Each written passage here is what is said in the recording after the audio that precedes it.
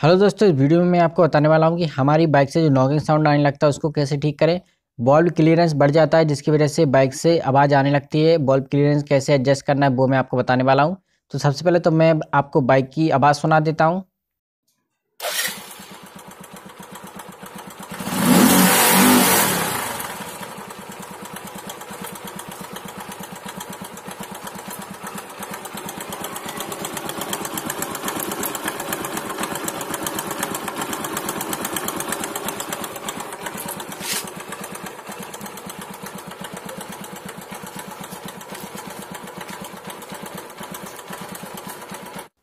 तो दोस्तों, इस तरह की आवाज़ आने लगती है हमारे बाइक के इंजन से और जब हम बाइक को चलाते हैं तो ये आवाज़ और बढ़ जाती है। इससे होता क्या है कि हमारी बाइक का हाई आरपीएम पे पावर लॉस हो जाता है। मतलब जब बाइक को स्पीड में चलाते हैं तो पावर कम लगने लगता है और कुछ टाइम बाद बाइक के हेड से आवाज़ आने लगती है। इसमें होता यह है कि हमारी बाइक के हेड में कैम सॉफ्ट रहती है, जिसमें रॉकर लगे हुए रहते हैं और जैसे जैसे वो घिसते हैं तो बल्ब का जो क्लियरेंस स्पेस रहता है वो बढ़ जाता है। उस स्पेस बढ़ने की वजह से हमारी बाइक के हेड से आवाज़ आने लगती है इससे हमारी बाइक का इंजन साउंड प्रोड्यूस करने लगता है, पावर लॉस हो जाती है बाइक के इंजन की और माइलेज भी कम हो जाता है। तो इसको ठीक करने के लिए बॉल्ब के क्लियरेंस को एडजस्ट करते हैं, बॉल्ब क्लियरेंस को एडजस्ट करते हैं तो ये प्रॉब्लम ठीक हो जाती, ठीक हो जाती है। तो उसके लिए आपको अपनी बाइक का जो टैंक वगैरह है, इसको रिमूव करना पड़ेगा और बाइक का हेड के कैप को ओपन करना पड़ेगा। उसके बाद आप बॉल्ब क्लियरेंस को एडजस्ट कर सकेंगे। तो ये बॉल ये देखिए बाइक के हेड का कैप है। कैप ओपन करके यहाँ से बॉल क्लियरेंस को एडजस्ट कर देंगे। कई कई बाइक में पूरा ये ओपन नहीं करना पड़ता है। इंजन भी नीचे रहता है उसका। हेड नीचे ही लगा हुआ रहता है तो वहाँ आप डायरेक्ट ही कर सकते हैं। उसमें कैप लगे रहते हैं छोटे छोटे तो वहाँ से आप एडजस्ट कर सकते हैं। लेकिन ये फोर बॉल्व इंजन है तो यहाँ पर चार कैप देना इम्पॉसिबल था। इसलिए ये पूरा एक बड़ा कैप दे दिया है पूरा। तो इसको ओपन करते हैं। जिस बाइक में चार बल्ब रहते हैं, उनके लिए ऐसा कैप प्रोवाइड किया जाता है। और जिनमें दो बल्ब लगे रहते हैं, एक इनटेक का और एक आउटटेक का एग्जॉस्ट वाला तो उनके लिए एक छोटे छोटे कैप रहते हैं। पल्सर टू ट्वेंटी में देखोगे आप तो वहाँ पर दो कैप रहते हैं। आपको पूरा ओपन करने की ज़रूरत नहीं है, आप दोनों कैप को ओपन करके एडजस्ट कर सकते हैं। ये फोर बल्ब वाली बाइक है तो इसको कैसे करना है? इसी तरह से दो बल्ब वाली बाइक का करेंगे। तो सबसे पहले तो मैंने इसको ओपन कर लिया है। इसको ओपन करने के बाद जो पिस्टन है बाइक का, वो टॉप पे रहना चाहिए। पिस्टन को टॉप पे करने के लिए ये देखिए इनटेक के बल्ब लगे हुए हैं। तो पिस्टन को टॉप पे करेंगे, उनके बाद इनटेक और आउटटेक के बल्ब को एडजस्ट करेंगे यहाँ से ओपन करके। यहाँ पर जो मैग्नेट लगी रहती है, उस पर टी लिखा हुआ रहता है। तो यहाँ से ओपन करके आप देख सकते हो कि टी है या नहीं। आप बाइक को गियर पे डाल के व्हील को घुमाओगे तो यहाँ पर टी आ जाएगा। पिस्टन टॉप पे रहना चाहिए उस कंडीशन में, नहीं तो आप किक का यूज़ करके भी यहाँ पर टी कर सकते हो। यहाँ मैं आपको अंदर दिखा देता हूँ। ये आपको देखेगा। यहाँ मैग्नेट लगी रहती है तो उस पर टी लिखा हुआ रहता है। उस कंडीशन में पिस्टन टॉप पे रहता है। ये देखिए, व्हील को घुमा के टी कर लेंगे। नहीं तो अगर आपकी बाइक में पूरा इस तरह ओपन करना पड़ता है कई कई बाइक में यहाँ ट्रांसपेरेंट रहता है तो आप बिना ओपन करे भी देख सकते हैं, जिस बाइक में जैसा दिया हो। ये आप देख सकते हैं, एग्जॉस्ट के बल्ब लगे हुए हैं दोनों। दो बॉल्व इनलेट के हैं, दो बॉल्व आउटलेट के हैं, क्योंकि ये फुल बॉल्व वाली बाइक है।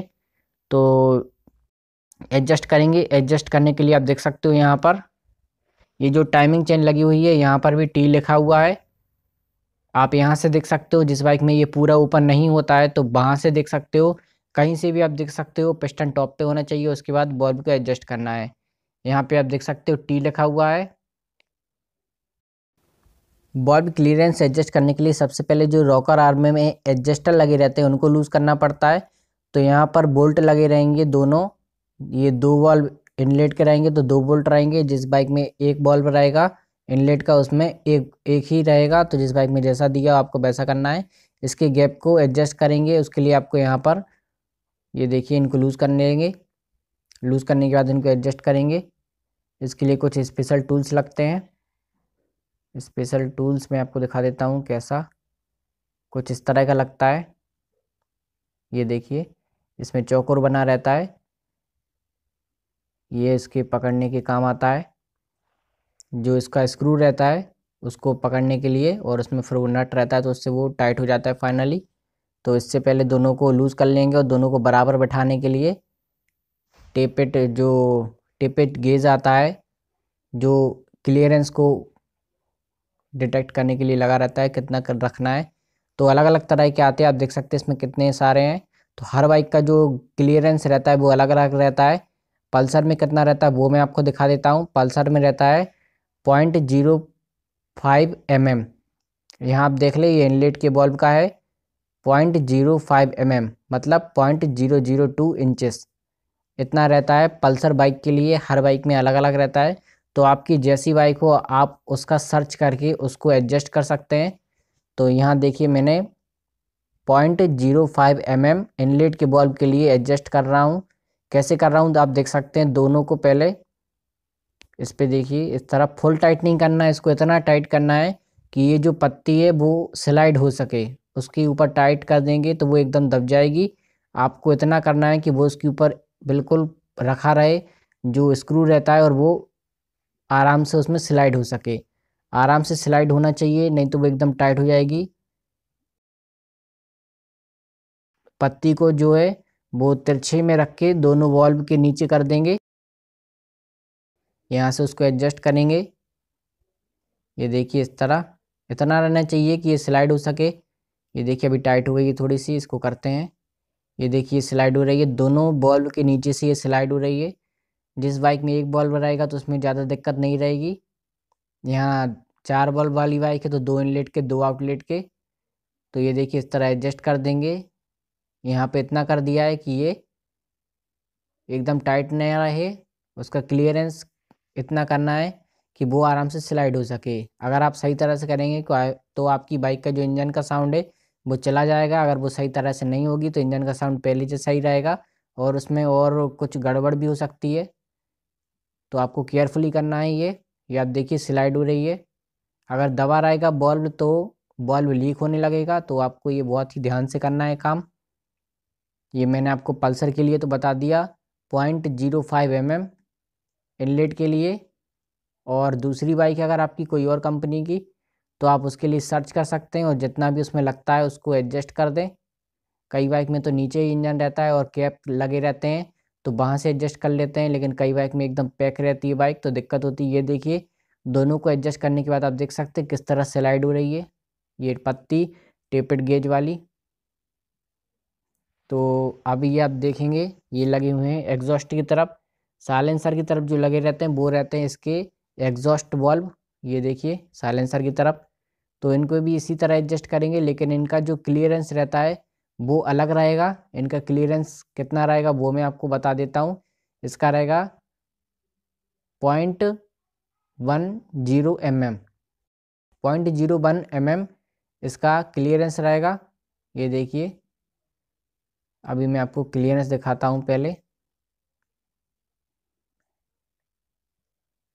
ये देख सकते हो आप clear point zero zero four inches मतलब point one zero M M. इतना आपको रखना है। डिस्क्रिप्शन में मैं ये लिख दूँगा, पल्सर बाइक के लिए जो रहेगा वो डिस्क्रिप्शन में आपको मिल जाएगा तो आप वहाँ से एकदम देख सकते हैं कितना एग्जैक्टली है। कैसे करना है वो आप देख ही रहे हैं। बल्ब के ऊपर जो रॉकर आर्म लगी रहती है एडजस्टर रहते हैं, उनको पहले लूज़ करना है और दोनों को बराबर कर देना है। इतना टाइट करना है कि ये पत्ती जो है वो स्लाइड हो सके। अगर एकदम टाइट कर देंगे तो वो दबी हुई रहेगी तो वो एडजस्ट नहीं कहलाता है। हर बाइक में अलग अलग रहेगा। सर्च करने के बाद आप उसको एडजस्ट करें। ये देखिए, कर दिए हैं। अभी दोनों को एडजस्ट कर दिया है। तो टाइट कर देते हैं। टाइट कर देंगे तो ये फाइनल काम हो जाएगा इसका। जितना इसको रखना है उतना वो हो जाएगा। और हर बाइक में अलग अलग रहता है तो आप एक अपनी बाइक के लिए पर्टिकुलर सर्च कर लें। और कंफर्म करने के बाद ही उसको एडजस्ट करें। इसको एडजस्ट करने के बाद आपकी बाइक का जो एबनॉर्मल साउंड है वो चला जाएगा। साथ ही में आपकी बाइक हाई आरपीएम पे अगर पावर लॉस करती है तो वो प्रॉब्लम भी सॉल्व हो जाएगी। हाई आरपीएम पे पावर लॉस का मतलब ये है कि जब बाइक को तेज़ स्पीड से चलाते हैं तो बाइक उतनी तेज़ स्पीड पकड़ती नहीं है, पहले की तरह। उसकी स्पीड कम हो जाती है, उसका पावर कम लगने लगता है। बॉल्ब क्लियरेंस एडजस्ट करने से आपकी बाइक का साउंड और पावर पहले जैसा हो जाएगा। आप अपनी बाइक के अकॉर्डिंग कर सकते हैं। इस तरह एडजस्ट कर देंगे, ये देखिए। तो दोनों एडजस्ट हो गए हैं इनटेक और आउटटेक के दोनों एडजस्ट हो गए हैं। एडजस्ट होने के बाद बाइक को एज इट इज़ अपनी पोजीशन पे पैक कर देंगे, सारे पार्ट को अपनी जगह पे लगा देंगे और बाइक को स्टार्ट करके देख लेंगे कि उसका साउंड कैसा है। तो दोस्तों, इसी तरह की वीडियो के लिए चैनल को सब्सक्राइब करना ना भूलें। साथ ही में अगर आपको कोई प्रॉब्लम रहती है तो आप कमेंट कर सकते हैं। तो जिसकी जैसी बाइक रहेगी, उसके अकॉर्डिंग एडजस्ट कर देंगे और पूरा पैक कर देंगे। पल्सर बाइक के लिए बल्ब क्लियरेंस रखेंगे इनटेक के बल्ब के लिए रखेंगे। Point zero zero two inches मतलब पॉइंट ज़ीरो फाइव एम और आउटलेट के बल्ब के लिए रखेंगे, जो कि साइलेंसर की तरफ़ रखा रहेगा। तो उसके लिए रखेंगे point zero zero four inches मतलब point one zero M M point one zero M M रखेंगे साइलेंसर की तरफ़ और इसको एडजस्ट करने के बाद बाइक को एज इट इज़ पैक कर देंगे। और ये जो मैंने आपको टेप बॉल्ब क्लियरेंस बताया है, ये पल्सर बाइक के लिए है, जो कि Pulsar one thirty five Pulsar one fifty Pulsar one eighty Pulsar two twenty के लिए रहेगा। अब मैं आपको बाइक का साउंड सुना देता हूँ।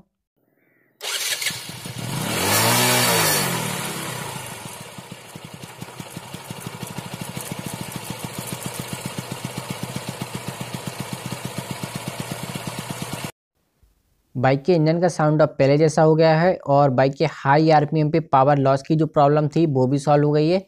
तो आप भी अपनी बाइक का इसी तरह से बॉल्ब क्लियरेंस एडजस्ट कर सकते हैं।